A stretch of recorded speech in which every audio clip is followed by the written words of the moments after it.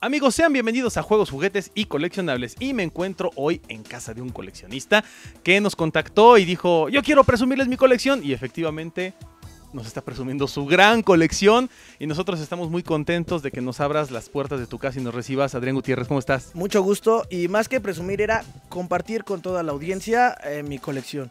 Y más que nada porque, bueno, eh, soy admirador eh, de, de su programa, los admiro a ustedes como personas, pero sobre todo me quedé el otro día con una, con una imagen mental de algo que se dijo en un, capítulo pasado, y era que tener una colección significaba tener de la A a la Z de, de un producto en específico, ¿no?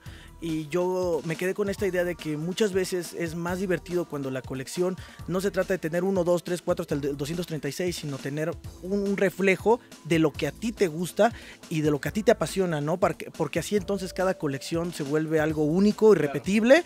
Y yo creo que hasta ustedes ahorita que van a ver un poquito de lo que de, de mi colección, van a ver como un reflejo de mi propia personalidad. De mole de dulce y de manteca, que es lo que vamos a ver. Vamos a ver poco a poco la colección. Nosotros vamos a, ya estuvimos aquí jugando un rato con ella. Ahorita vamos a ver a fondo algunas cosas, le vamos a preguntar otras. Pero por lo pronto, Bernardo Méndez está en la cámara. Soy Omar Fruits y Carrasco y comenzamos juegos, juguetes y coleccionables.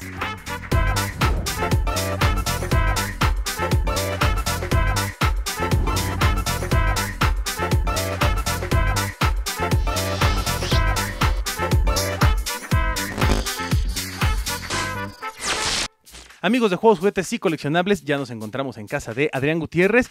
Y bueno, pues estamos viendo todo lo que hay en su colección, pero me llama la atención y destaco Tortugas Ninja, que como ustedes podrán ver, ahí Bernie está haciendo una toma pues más o menos de cerca. Híjole, hay muchas cosas de Tortugas Ninja, de todo tipo, de todos olores, colores y sabores, desde las tortugas clásicas hasta las tortugas nuevas. Pero, ¿por qué empezaste a coleccionar Tortugas Ninja? Bueno, este, todo empezó en 1985. Mi papá fue, fue a Estados Unidos. Este, me trajo unos coleccionables y entre ellos venían co- eh, cómics este, en blanco y negro, pero para colorear, no los originales, sino para colorear, ya siendo parte de este boom de las tortugas en Estados Unidos. Me enamoraron y cuando empezó aquí la caricatura, cuando llegaron aquí las primeras figuras, pues yo quedé prendado de eso. Yo creo que gracias a las tortugas le debo el haberme hecho un coleccionista versátil, porque pues, mis papás me compraban en cumpleaños, me compraban en Navidad, me compraban en todos lados, pero no me bastaba. Entonces en ese momento eh, mi abuelito tenía una, una pequeña dulcería en su, en su tiendita. Él me regalaba dulces y yo le bueno, no tengo tanto dinero, pero tengo dulces. Entonces empecé a invertir en eh, que mis domingos de dulces, los vendía en la escuela, compraba y en aquel tiempo en los famosos tianguis de Fayuca, porque las tortugas de Playmates no llegaban siempre a tiendas, llegaban a los tianguis primero. Entonces cada semana en el tianguis se juntaba todos mis ahorros y me compraba mi tortuga ninja de 15 pesos, de 15 mil pesos. 15 mil pesos, 15,000 15. pesos. Cuando los pesos tenían miles de pesos. No, ya nada de eso.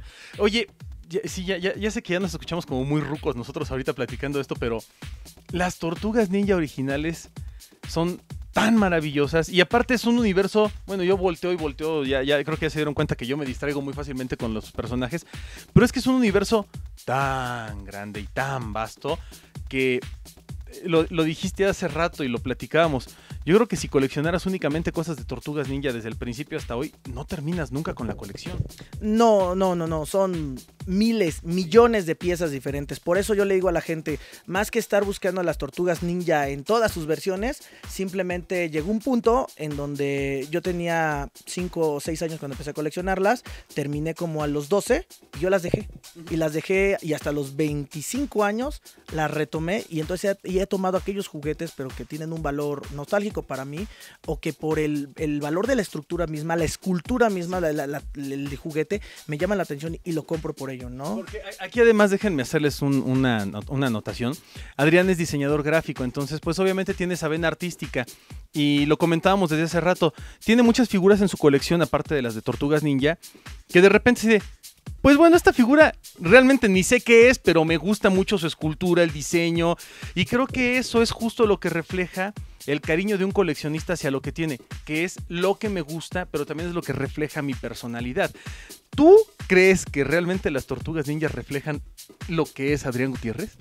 Sí, por varias razones. Y una de ellas es que yo creo que las tortugas, como muchas personas que coleccionan tortugas, hablan de un cambio, de algo diferente. Para empezar, este, no solo las tortugas, muchos de los juguetes que yo colecciono, no los colecciono porque hay atrás algo más. Yo me considero muy fan de Marvel Comics, pero si ustedes ven mis juguetes de Marvel, no son muchas piezas, porque yo, de, yo la esencia de Marvel son sus cómics. Entonces yo lo que colecciono de, de Marvel son cómics.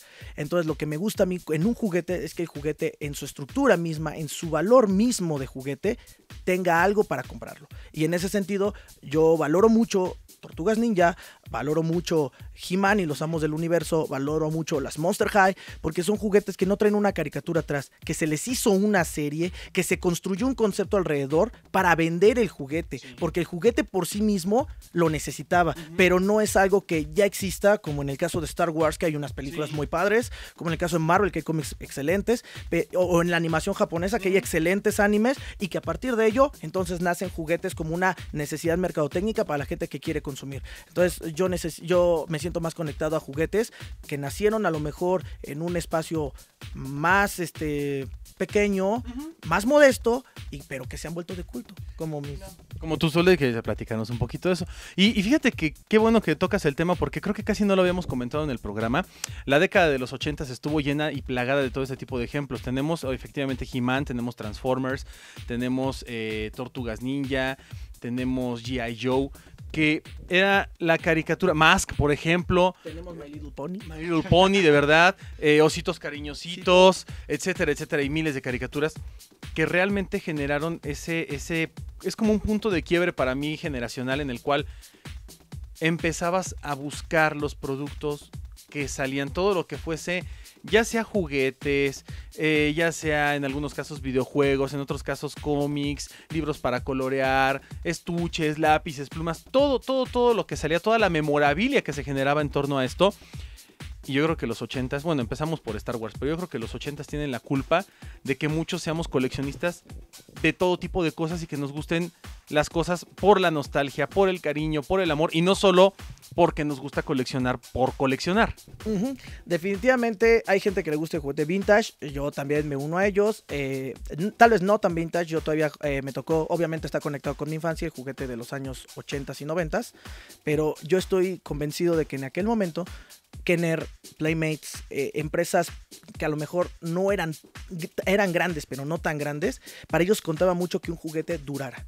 Entonces, le doy mucho valor yo, por ejemplo, a juguetes como por ejemplo de Toy Biz, en donde se buscaba que el juguete fuera bonito, pero que eso no sacrificara la durabilidad del mismo. Entonces, eh, eh, creo que en esta década en particular se logró ese equilibrio perfecto entre juguetes que fueran estéticamente muy bonitos, pero que además estuvieran diseñados para durar muchos, muchos años, ¿no? Que- Y ahora vamos, ah, fíjense, ahorita vamos a platicar de algo que está por acá que me llama mucho la atención antes de que se me vaya el tiro.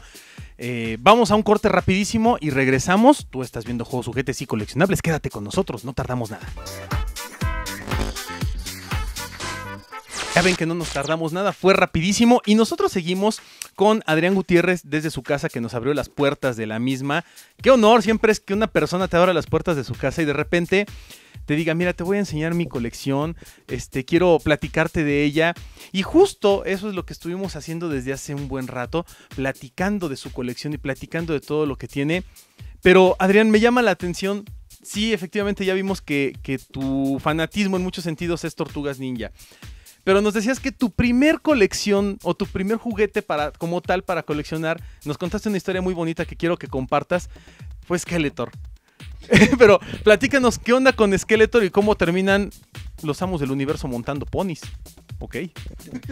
Bueno, este, primero que nada quiero que sepan que le agradezco profundamente a mi papá porque pues, él fue indirectamente responsable, no de que me volviera coleccionista, pero sí como de darle a un niño eh, todo lo que en sus posibilidades estaba y jamás que lo limitara a lo mejor las distancias. Yo soy de León, Guanajuato. Y entonces en ese lugar pues no era nada, eh, los, los años o principios de los 80 no era nada parecido aquí a la Ciudad de México. Mi esposa es oriunda de aquí, ten- tiene una tenía colecciones increíbles porque aquí todo tenía la fábrica de Lili Ledi, ten- llegaba aquí primero que nada Mattel, Playmobil, todas estas franquicias, ¿no? Pero allá en Guanajuato si teníamos tres juguetes originales en una papelería local era wow, era como ir a un museo a verlos. Entonces mi papá en un viaje a Estados Unidos me trae un Skeletor y un Man at Arms y de ahí empieza el boom por los juguetes juguetes, ¿no? Pero además, todo mundo siempre hablamos de los, de los. Creo que todo mundo tuvo un Man at Arms. Todo mundo tuvimos un Man at Arms, ¿no? Siempre llegaba. Y, y de lo que menos nos regalaban eran Jimanes. Sí, sí, sí, sí. Ya después vi la serie y me di cuenta de que He-Man era el bueno y el poderoso. Pero yo tengo una, un, un posicionamiento automático de corazón con Man at Arms y con Skeletor, sobre todo, porque fueron mis dos primeros juguetes. Vamos a hacernos tantito para acá aquí, vamos a ver que Bernie sufra. Aquí están tus Skeletors. Y es que es padre ver. Yo, yo nunca había visto tanto Skeletor junto. Es muy divertido. Y hay de todos los olores, colores y sabores. Oye, ¿todavía tienes aquí el primero? Eh, sí. ¿Cuál Eh, es? ¿Cuál es? bueno, es parte. Voy a hacer- me voy a hacer para acá, ¿eh? Me voy a meter hasta acá. Eh, yo era un niño que jugaba con mis juguetes, como todo niño debe jugar con sus juguetes. Entonces, esto fue lo único que quedó de mi No, original. La pura, la pura cabecita. Ahí está la cabecita, véanla. Eh, Es lo que sobrevive de la, de la colección o del primer Skeletor que pudo tener un coleccionista. ¿Qué sobrevive? Una cabeza de goma. Porque además déjenme decirles que estos personajes con todo y su cabecita de goma se van destruyendo y se van haciendo pedacitos. Y aquí está lo que quedó y lo que sobrevivió de ese pequeño Skeletor. Y que fue el detonante de una colección. Ahora, vente para acá otra vez. Ya, ya hicimos para allá, Adrián, tantito porque estamos aquí moviéndonos con la cámara. Pero hay otras cosas acá que a mí me llaman mucho la atención y que están padrísimas. Tienes, por ejemplo, vamos, vamos así como de abajo para arriba. Por allá tienes un Hércules, que es Kevin Sorbo, de esta serie que salió por ahí de los años 90, ¿no? De Hércules. Exactamente, salí por el 94. Sí. Y pues, yo, como todo fan de Sam Raimi y todas sus producciones, Claro. pues ahí tengo. O sea, es lo que te digo, no, no se trata de tener todo, se trata de tener un elemento, por ejemplo, de Small Sol- de la película de Small Soldier, de la película de Jurassic Park, de la película de El último gran héroe con Arnold Schwarzenegger. Tener un elemento que, que con, con el que te conectes y, y que sea parte de tu personalidad. Porque aparte, esa película todo el mundo la odió, El último gran héroe. Ah, Es malísima, pero es tan mala que es buena. Pero a mí me encantó el villano. Me encantó el villano y el contexto que puso. Y tenemos al villano ahí. Méteme a... Ya metí mano. Miren, aquí está. Vean nada más qué buena onda, Benedict. Sí. Y aparte, trae su ojito rojo. Bueno, no, obviamente no trae el detalle de la carita feliz, pero trae el ojito. Oye, la, la figura está padre, ¿eh? yo nunca la había visto. Sí, sí, sí, es una figura que incluso se quedó hasta en los botaderos de los juguetes, pero que yo la compré siendo- eh, saliendo la película, me la acabé, la rompí, la perdí y la reconseguí porque porque creo que es algo es algo importante, ¿no? Es algo que representa, yo creo que parte de mi niñez, pero también, como te digo, parte de lo que nos gusta y es eso de la colección, ¿no? Que sea pa- que sea en parte tus gustos, ¿no? Por ejemplo, yo le digo a la gente, "Yo- a mí me gusta Star Wars, a lo mejor no he tenido tantos personajes como la mayoría de coleccionistas que tienen Star Wars como una de sus primeras líneas de colección, pero tengo aquellos personajes que de verdad significan algo para mí y que, y que para mí son importantes, ¿no? En este No, caso. tienes, digo, tienes tal vez, por ejemplo, ahí eh, un Grievous, tienes otros personajes que te llaman la atención. Pero, espérenme, voy a hacer aquí un, un pequeño paréntesis. Yo pocas veces he visto gente que coleccione o que tenga unas figuras como tal de una película de la cual yo soy ultra fan y me gustan el villano y todo el mundo colecciona aliens. Pero tú tienes soldados, tú tienes marines de aliens y casi nadie los tiene ya. Claro que sí, de la segunda película de Alien, de Aliens. De James Cameron. Exacto. Este, igual, eh, cuando una de las cosas que yo me acuerdo con mucho. Saca la a la teniente Ripley. Una de las cosas co- que yo me acuerdo con mucho cariño de ir a León, Guanajuato, es que había mucho tianguis de Fayuca. Entonces, en esos tianguis llegaban todo el juguete de Kenner que a veces no llegaba tan fácilmente a las tiendas y tú podías comprarlo ahí antes que nadie. Que de hecho, sí, mira, por ahí atrás, entre tanto dragón, ahí está, Ahí está el hay, alien. hay Aliens Gorila y por ahí Sí. está la- el Alien Reina Voladora, ¿no? De esos juguetes que sobrevivieron desde la infancia y que realmente no, no son conseguidos hace poco tiempo. O sea, realmente los he tenido desde niño y por eso se ven un- hasta un poquito despintados porque verdaderamente se ha jugado con ellos. Oye, y no, no, bueno, te voy a hacer una, una observación que, que a lo mejor, este, yo siempre lo hago porque lo veo, pero nunca lo he comentado. Algo que a mí me enamoró, por ejemplo, de entrada del personaje de, de la teniente Ripley, era que, que era un verdadero héroe de acción, pero la otra es esa arma. Esa arma que, que prácticamente ella eh, termina de editar para ponerle un lanzallamas y, ponerle lanzagranadas. O sea, la termina como de, de customizar. Y la forma en la que traen esa, esa gran metralleta que sacan es, es maravilloso. A mí me encantan las armas de los aliens. Sí, literalmente, pues esas películas, igual, volvemos a lo mismo. Estábamos comentando ahorita que a mí me gustan los juguetes de los 80s, a ti te gustan los videojuegos de los 80s, y creo que muchas personas coinciden que las películas de los 80s eran, eran magia. O sea, totalmente. Oye, a ver, ven acá. Y todo este mendigo grupo de vikingos y soldaditos, ¿de, de dónde lo sacaste? Porque hay un montón ahí, estoy, hay una invasión vikinga aquí, ¿eh? Sí, vikingos contra dragones. Igualmente, cuando yo vivía en León, Guanajuato, pues teníamos nada más acceso a los juguetes que estaban en la papelería. Entonces, muchas veces uno tener acceso a los juguetes que anunciaba en aquel tiempo Televisa, televis- Televisión Azteca ni existía. Entonces, pues era, era. era, entonces era imposible, ¿no? Entonces, eh, estos juguetes llegaron a una papelería local, siendo originales, bien, bien- muy bien detallados sin estas miniaturas, y pues obviamente como niño los destrocé. Entonces, me hice a la tarea de encontrarlos y pues al principio quería uno y uno, porque eran dos modelos, era este Sí. modelo y este modelo, ¿no? Entonces, me empecé a conseguirlos y a conseguirlos y a conseguirlos y pues terminé con mi pequeño ejército de, de vikinguitos. que aunque sencillos y de un solo color, han de saber que pues, estos son los padres de lo que ahora es, fue Midnight, HeroClix, Uy, sí, Warhammer. claro. Estos son verdaderamente el principio de las, Abuelitos. de las miniaturas coleccionables, ¿no? Sí, es cierto. Y muchos, muchas de estas figuras incluso las llegaba a lanzar Lodela, por ejemplo, en su momento, ¿no? Y con, con las, con los eh, vehículos para armar y todo, pero también había campos de batalla, había muchas cosas, había castillos y todo eso. Entonces lanzaban figuritas, pero para pintar. Y había guerreros, había caballeros medievales, había este, cruzados, había... eh, bueno, había unas cosas tan bonitas en esa época que la verdad yo creo que ahora sí, pues como que hace falta, ¿no? Eh, Bueno, aquí hay muchas cosas, hay por ahí de, de Beta X, por ahí tienes, oye, hasta Mighty Max tienes, ¿no? Allá abajo, aquí hay Mighty Max. La montaña de Mighty La Max. montaña, qué padre, ¿no? Era Mighty Max. Eh, sí, sí, sí, me gustaba mucho porque eran miniaturas y sobre todo son de las más difíciles de conseguir porque al ser eh, playsets pequeños con figuritas pequeñas, son cosas que todos los niños perdían y rompían. Como los Micro Machines, que se iban, se iban al diablo, los pobrecitos. Estoy sorprendido. Eh, ah, en algún momento de esta historia publicamos en la página de Juegos, Juguetes y Coleccionables, al igual que en Facebook, un comentario acerca de los juguetes eh, con temática religiosa. Y hablábamos de que había figuras de acción de David contra Goliat, que existían figuras de acción de Jesucristo, de Moisés, de Noé, vaya, de toda la, la- corte celestial e incluso de todas las grandes figuras bíblicas. Tengo en mis manos en este momento a José y a María. Y ahorita en el fondo, si Bernie se acerca, están los tres reyes magos, en versión total y completamente bíblica. ¿Por qué tienes todo esto, Adrián? Bueno, una de las cosas que te digo que como, como comunidad y club de coleccionistas, una de las cuestiones aquí es hacerle llegar a todas las personas, hacer cambios, trueques entre juguetes y que todos lleguemos a tener figuras extrañas, ¿no? En su momento hay personas que por varios motivos, algunos se han mudado a Estados Unidos, algunos a otro punto remoto de, la, de, de aquí de México y a veces no se pueden llevar todo. Entonces hay momentos en que me han dicho, oye, ¿no te interesaría mi colección? Ya había comentado que me gusta comprar por, por lote.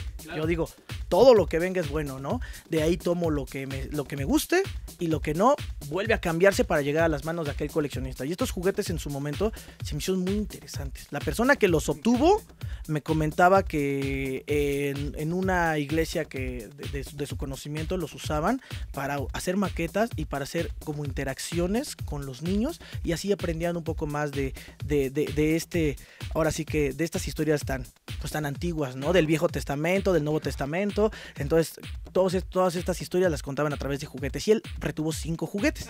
Me los dio y yo en algún momento pensé, pues también en, dejarlos ir, ¿no? Con alguna persona que tuviera más, más este, conexión con este mundo espiritual. Pero entre más las veía, pues más me enamoraban y pues terminaron aquí en la colección. Además, déjenme decirles que de verdad están bonitas las figuras, están bien hechas. Yo es la primera vez que las veo físicamente. Jamás las habíamos visto en vivo y a todo color, únicamente eh, por internet y en videos y demás. Pero por primera vez veo unas figuras de estas eh, religiosas. Y aquí, aquí aquí debe traer la marca, hecho en China y son del 2006. Pero hasta ahí. Sí, son- Dicen 2006 BC. a, ver si, a ver si lo puede tomar Bernie ahí en la patita, en, en el pie, dice 2006 BC. O sea, Before Christ. O sea, ¿qué onda con esto? Está increíble. Yo también me, me gusta, no soy una persona, como ya te había comentado, me gusta adquirir algo porque me gusta la estética del juguete. Yo tengo los juguetes, yo tengo los juguetes de Halo porque me gusta, no porque juegue tanto el videojuego de Halo, pero me gusta mucho la estética de estas miniaturas. Son padrísimos. Los, fíjate que yo he visto también, digo, yo jugué Halo, pero eh, igual me pasa con Years of War. Years of, Years of War lo jugué, pero pues me gustó, pero no, no, vaya, no me, no me envenenó, no me atrapó.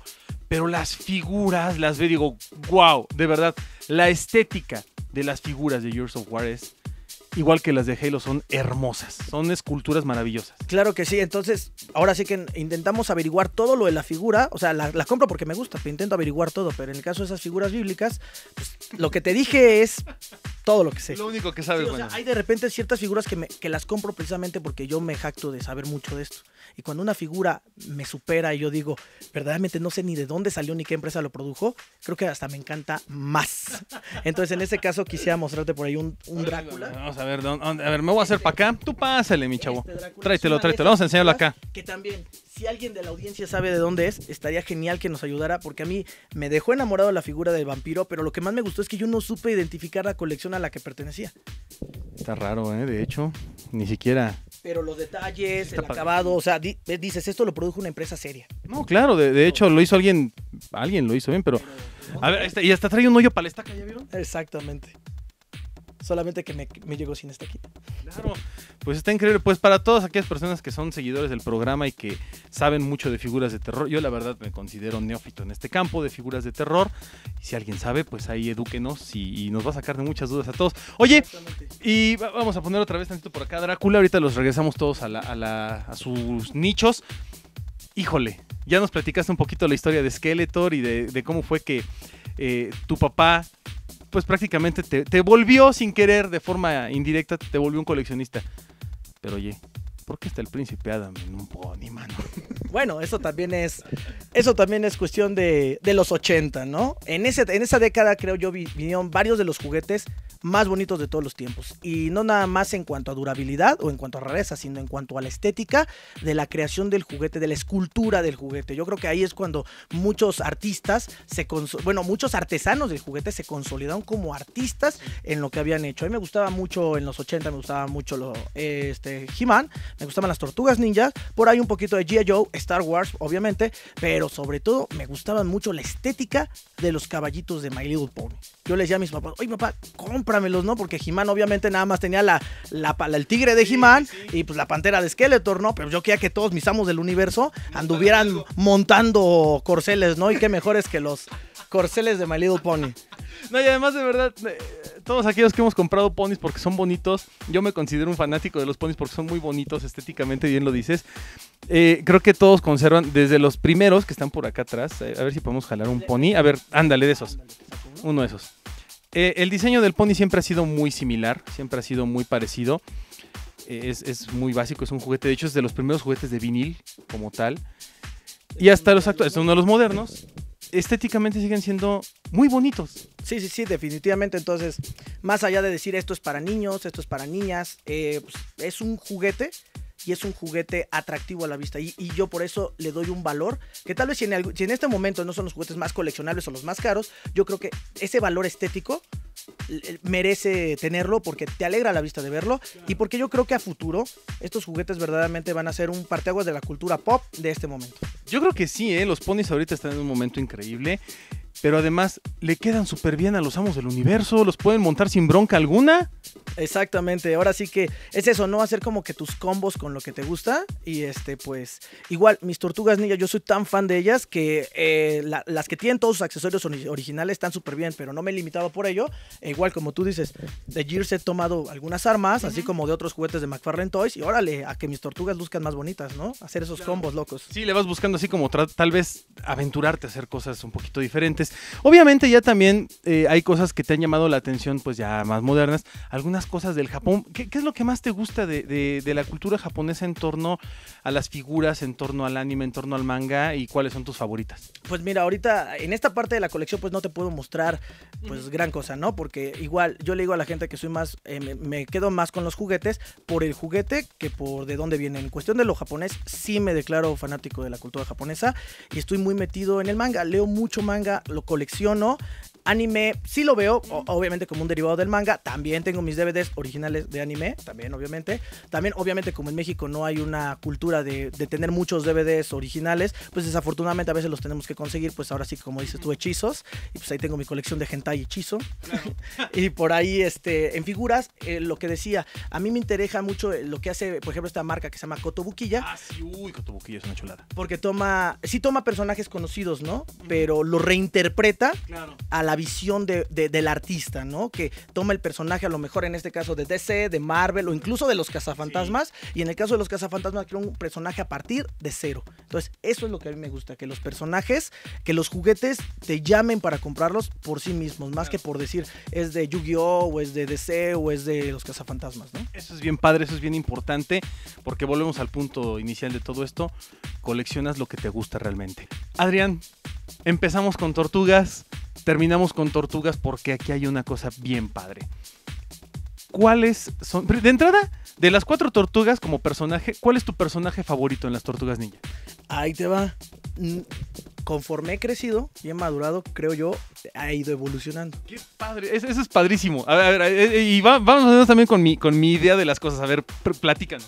Siendo niño, siendo un niño de tres años, me gustaba mucho Miguel Ángel. Yo sentía que era divertido, que se tomaba la vida. Era cool. Era cool porque se dejaba ir como el agua, nada, nada, nada. Y, y yo lo admiro por eso. Empecé a crecer, me volví rebelde. Y entonces a los 12 años yo quería ser Rafael. Rafael. Rafael, así, loco, rudo. Y siento que, pues no, no. eh, seguí madurando. Me di cuenta que había cosas muy importantes en la vida que pocas personas tomaban en cuenta. Y entonces, Donatello. Donatello, sí. Porque mi papá me dijo, métele cabeza para que la vida funcione, ¿no? Pero conforme seguí avanzando, pasé de los 20 años y me di cuenta que creo que la que está más centrada, más este, eh, eh, en, el, en, el, en la fuerza, que tiene más la fuerza, la cultura, eh, que es lo suficientemente me- relajado, pero también lo suficientemente disciplinado, Leonardo. Y, y por eso yo creo que es la que menos le gusta a la gente actualmente. Les encanta a las otras tres. Leonardo a lo mejor es el menos tomado en cuenta, pero esa escena en Tortugas Ninja donde él está completamente golpeado, donde está Rafael completamente golpeado y que Leonardo es el que pasa día y noche con él, pues a mí me, me marcó y yo, yo dije, Leonardo es mi Y favorito. Y además, fíjate que acabas de tocar un punto que para mí es como medular en toda la vida de, de- de los que crecimos en los años 80 y demás. Y es que precisamente las tortugas ninjas reflejan de una manera tan increíble los valores y puedes identificarte tan fácilmente con cualquiera de ellas al paso del tiempo. A mí me pasa exactamente lo mismo que a ti. Yo siempre he sido fanático de Miguel Ángel, pero cuando empiezas a estudiar y cuando empiezas a, meterte más en otras cosas, te haces fan de Don y después dices, híjole, ya estoy en mi etapa juventud y ahora ya todo es rebeldía y todo es anarquía, sí, soy como Raf, ¿no? Y te vas cambiando y al final buscas un equilibrio como Leonardo y yo creo que eso es maravilloso. A lo mejor dentro de algunos años nos vamos a identificar con Splinter. Exacta, exactamente. Ahora que soy papá, ya empieza a suceder. ya, empieza, ya empieza a salirte una, una ratita, una colita de rata y empieza a ser así. Oye, híjole, bueno, esa fue una primera pregunta. Ahora viene otra pregunta que puede ser un poco más difícil. Tienes muchísimas figuras de las tortugas ninja de todas las épocas, de todos los olores, colores y sabores. Tienes originales, tienes peluches, tienes bootlegs, tienes de todo. ¿Cuáles son algunas de tus favoritas? Yo sé que escoger un favorito siempre va a ser difícil, pero ¿cuáles podrían ser aquí en toda esta colección tus figuras preferidas? Bueno, quisiera que me ayudaras mira, tomando por ahí a, a- a este, así, a Slash. Eh, yo nunca me he identificado tanto con los protagonistas de ninguna serie, entonces estos, estos personajes siempre me gustaron. eh, vuelvo a lo mismo, la escultura del juguete se me hacía, que si era una tortuga, perdón, el polvo, se me hacía una tortuga, pero se me hacía muy diferente a las, a las convencionales, a las cuatro básicas. Entonces siempre me llamaron mucho la atención. Y más porque parecen hermanitos porque están hechos del mismo molde. Solamente que está la tortuga malévola de la serie videojuegos y la de la película, ¿no? Entonces yo creo que siempre me identifiqué mucho con estas dos, sobre todo por una, por una cosa muy interesante. Esta la compré sin querer queriendo, casi no la compro porque no me gustaba en su momento tanto. Y después me gustaron tanto que esta fue de las de esas tortugas que me acabé, la destruí y para reconseguirla con estas piececitas y con su parte de sus accesorios originales me tardé años. No, y aparte, sí son todos unos personajes Slash y a mí me encantan, son maravillosos. Y, y la verdad es que, qué curioso, ¿no? Precisamente una, una de un mundo y otra de otro, y terminan siendo prácticamente el mismo molde, el mismo modelo, nada más con ligeras variaciones, pero sigue siendo exactamente lo mismo. Ahora, este, quisiera hacer un... Ah, perdón, quisiera este, seguir con lo de la- las favoritas. Yo creo que mis dos, mis dos tortugas este, pues, realmente favoritas, eh, no sé si la pueden ver aquí, es un, es un, perdón, es un, es un Rafael de la nueva película, que en lo personal el juguete no es mi juguete favorito, pero me lo regaló mi hermano. Entonces es por ahí una, una conexión con, con esa parte de que mi hermano todavía reconoce en mí esa parte de niño que sigue gustándole y por, digo, no sé, esa es mi tortuga favorita. ahorita ahí estamos, mira. El Miguel Ángel, y ese Miguel Ángel, pues también tiene, tiene su historia también bonita detrás. Y qué padre que nos, la, que nos lo hayas compartido. Es bonito saber que lo que te da la familia es, es, lo que uno también empieza a valorar de cierta forma más. Exactamente. Esa tortuga no es mi favorita porque sea la más grande, ni porque sea la más cara, ni porque sea la más cotizada, sino porque me la dio mi esposa. Entonces, eh, yo esa Navidad, fue esta Navidad pasada, yo estuve gastando para darle a mis, a, pues, toda la gente que yo quería, yo quise darle esta Navidad. Le di a mi esposa, le di a mi hijo. Entonces, este, yo realmente para, para mí eso es el, el mayor de los regalos. Y cuando mi esposa me dijo que me iba a comprar una tortuga ninja, yo pensé que me iba a comprar una tortuguita así. Y dije, ah, está súper padre, para mí es el mayor de los regalos porque pues, piensas en mí. Y cuando me va llegando con esto, pues yo dije, es que me, me, me, me sobrepaso. Yo dije, qué padre, ¿no? Y pues yo le agradezco a ella porque para ella nunca ha sido una carga que yo sea como soy. Y pues además de, de, ser mi esposa y yo de amarla, también comparte conmigo muchos gustos de coleccionista y es lo que más me gusta de mi familia, ¿no? Mi hermano, gracias a mi hermano, le, le agradezco a, eh, a mi hermano porque él me acercó al TCG, me acercó al rol.